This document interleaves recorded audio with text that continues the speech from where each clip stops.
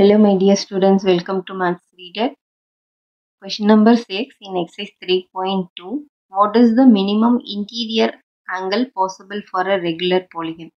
So, here we have to say with minimum interior angle of a regular polygon. So, here we can take a equilateral triangle. So, this is equilateral triangle and I am taking the square also. So, these two are we can uh, regular examples of regular polygon. Here all the angles and sides are equal for both the figures. For square also four sides are equal and four angles are equal. And for this equilateral triangle all the three sides are equal. So now minimum interior angle. So here for this triangle the sum of interior angles of this equilateral triangle is 180 degree. So now each here each angle is 60 degree.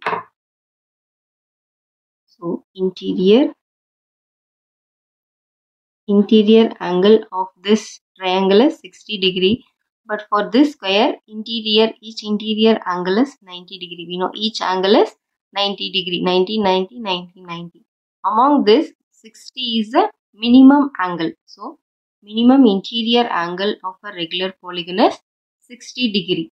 Second big question what is the maximum exterior angle possible for a regular polygon? So you can take the same uh, equilateral triangle. So we already we know the interior angle is 60 degree.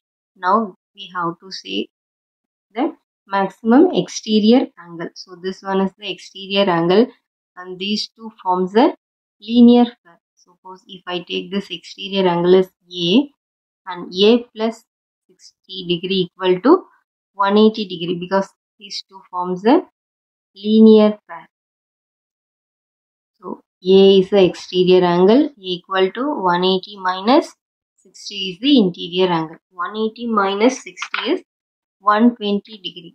So now the exterior angle is 120 degree. So this will be the maximum exterior angle possible for a regular polygon.